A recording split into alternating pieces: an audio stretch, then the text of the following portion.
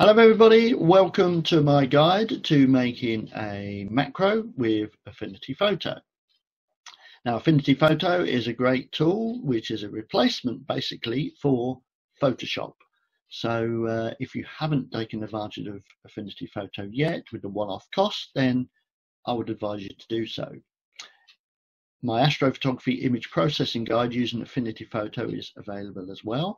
So uh, as well as promoting that, of course, I'm going to show you how to do a macro because actions that you use in Photoshop don't work with Affinity Photo. So you need to set up a macro to do some of your processing jobs for you and make life a lot easier. So I'm going to show you how to do that. So I'm going to open one of my uh, images. Now this one is actually a raw image that I took of some noctilucent clouds a few days ago. And because it's a raw file, I've opened it up and it's gone into the develop persona up here.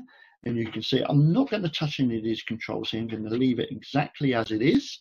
And I'm going to just click the develop button. There we go. So it'll take a number of seconds to actually develop the image. And you can see it's quite a dark image. It looked quite good on the camera at the time. We all know the problem. You go out and take your images and it doesn't look quite as good when you get it back home.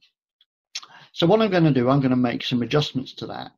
And because I took over 200 images of this particular display and I wanted to make an animation of the whole thing.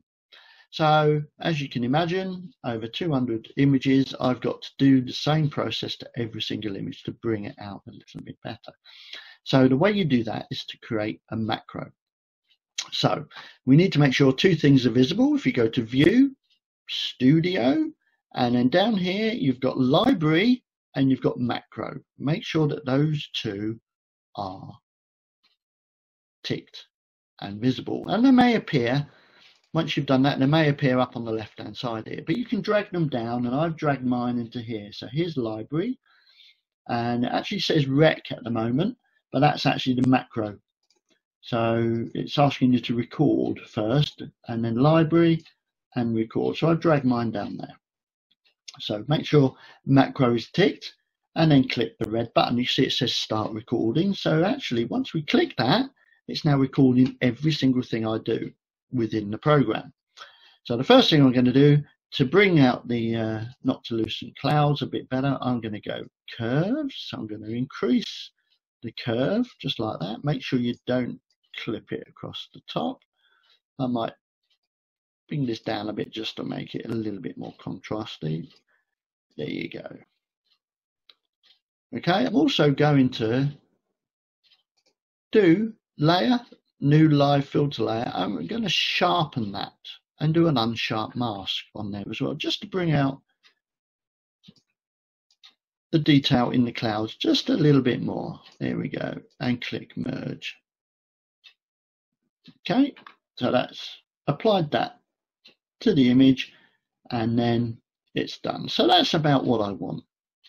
Okay, you might want to give a little bit more color. So if you click the vibrance tool here, and then just increase the saturation slightly just to bring out some color a little bit more and then click merge as well. So that's our macro done. We've brought out the brightness we've brought out a bit more color and we've sharpened the image somewhat. So you see some of the structure around here really really nicely. So if we stop the recording and then once we've done that that's recorded everything we did so if we click add to library and we'll call it something like NLC uh, adjustment 4 because I know I've done some before that and click OK. So what that's done, that's now recorded the macro and then you can see what it's done and if we click library you can see right down here we've got NLC adjustment 4 so let's close that image without saving it. Oh, um, says not responding. Yeah, we know it's been modified, but we don't want to save it. So if we now open, open recent, There it is. Just click develop without touching any of the tools.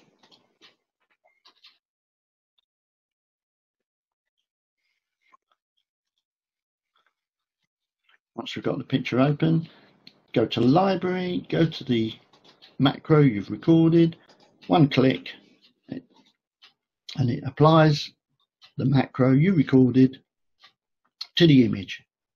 And you can do that for all your images and save them. But there is an easier way, which I'll tell you next time about how to do a batch and get it to save all the images automatically. So that's how to record a macro and save it ready for your processing. Don't forget, my guide to astrophotography image processing using Affinity Photo is available on my website star-gazing.co.uk.